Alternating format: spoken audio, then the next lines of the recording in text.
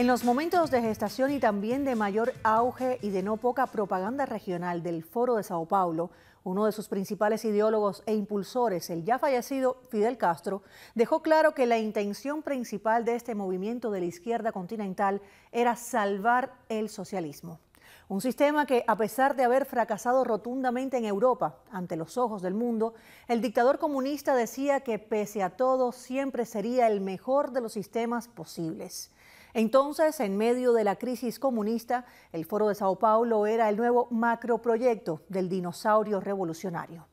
Con este movimiento, Castro y sus acólitos en la región iban a reescribir la ruta del socialismo en Latinoamérica, por supuesto con la ayuda económica de países pudientes del hemisferio como Brasil. No importaba que el socialismo fuera probadamente una oscura utopía que cayera, luego de haber sido impuesto a fuerza de represión, demagogia, miseria y adoctrinamiento. No importaba para los gendarmes del Foro de Sao Paulo que las prácticas del socialismo real hubieran sido un terrible fiasco, con millones de víctimas en toda Europa del Este y otras partes del mundo.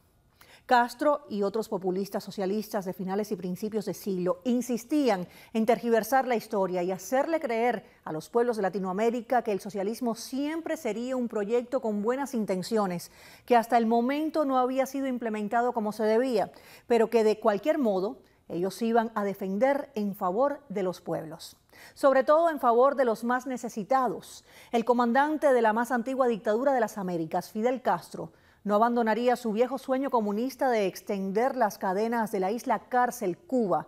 Había encontrado con el Foro de Sao Paulo el proyecto ideal para darle forma a sus anhelos de expansión por Latinoamérica, su imperio regional de miseria y demagogia, que inmediatamente fue bautizado como el socialismo del siglo XXI. A aquel primer encuentro del Foro de Sao Paulo en 1990 acudieron casi 70 organizaciones políticas de 22 países latinoamericanos. Luego, tras la propaganda que tuvo y siguiendo estrategias para ampliar su impacto, el Foro de Sao Paulo creció y se expandió mucho más. Y ahora, como si la historia no hubiera demostrado su verdadera naturaleza, pues han recargado sus armas para disparar una vez más contra las almas y los anhelos de los pueblos, donde muchas buenas personas, por desgracia, desconocen el descalabro del que son capaces sus vendedores de pesadillas disfrazadas de sueños.